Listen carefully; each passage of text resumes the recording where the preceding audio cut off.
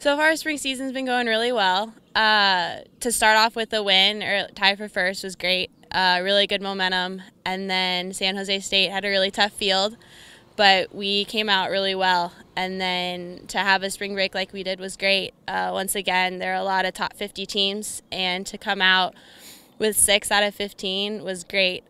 Yeah, conference is a whole different field. Um, we don't see our conference teams more than once or twice during the year, um, so it's definitely another level. Um, everyone's much more pumped up, much more excited.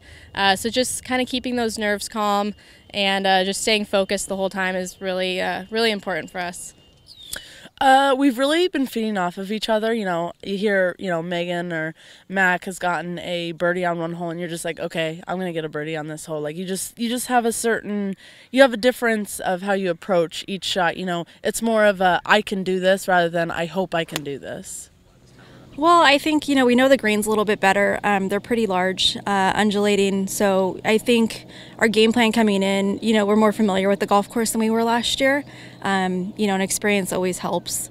Uh, we'll dress a little bit warmer. Uh, at least I will. It was pretty cold, um, but we're really excited to go up there and play some good golf. Uh, it's it's the week before, so it gives us one last chance to see you know what we need to focus on in the days when we're back home, uh, in preparation for it. But uh, we're working on some short game stuff this week um, that you know we decided we needed to work on from Hawaii.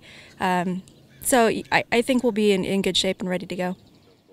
Yeah, I think obviously short game is very important. Um, we have a really good ball striking team, and that's definitely been something that's improved quite a bit for us. Um, so keeping our short game at the highest level is going to be what makes the difference.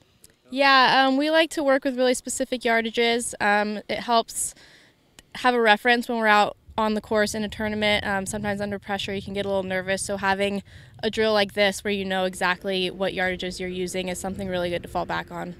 I mean, I've certainly been working a lot on putting. I'm out here at uh, seven o'clock this morning working on putting so that I can show my competitors uh, that I can, you know, like I said, drop some putts, make some birdies, make it rain out there.